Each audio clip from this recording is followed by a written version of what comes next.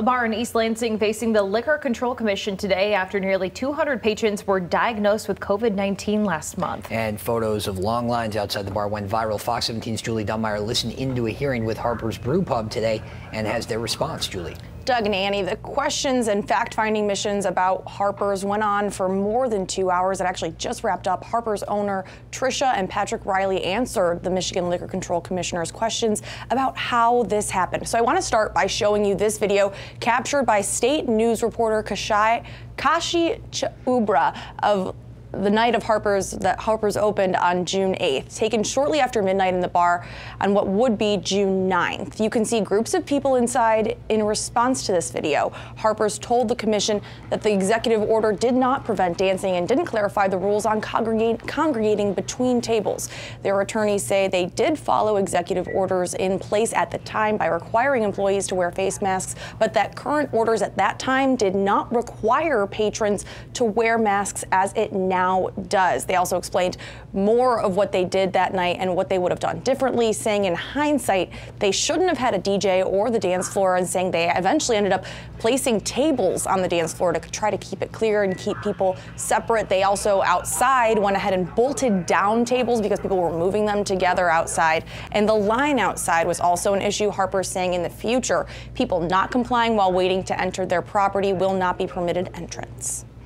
Being in a uh, a restaurant and brew pub in a college town, we have a great deal of experience in, shall I say, uh, controlling people who do not want to be, be, be, let's say, abide by the rules.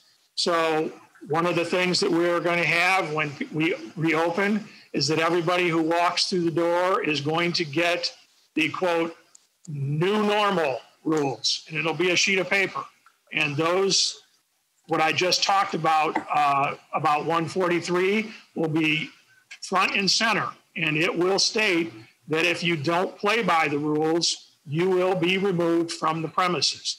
We will remove anyone who violates our rules, which happen to be the governor's rules. We did not realize or have an understanding that we could do so back when we opened. We did not find that out until we had a meeting with Linda Vail, who pointed out we had the authority also part of the discussion, Ingham County Health Department saying they visited Harper's after the documented issues and saying they've been in communications with Harper's currently with county restrictions as well. They say that they had initially said that they could have 250 people per capacity rules for Harper's. That's what they were allowed to have now. There, that's too many people according to the Ingham County Health Department. They have a new local executive order that would keep people from having large groups like that. Next steps is to have Harper's prepared with a plan to present to the Ingham County Health Department Department as well as the Michigan Liquor Control Commission, which Harper says they are willing to do whatever is necessary to keep people safe. Live in the newsroom, Julie Dunmire, Fox 17 News.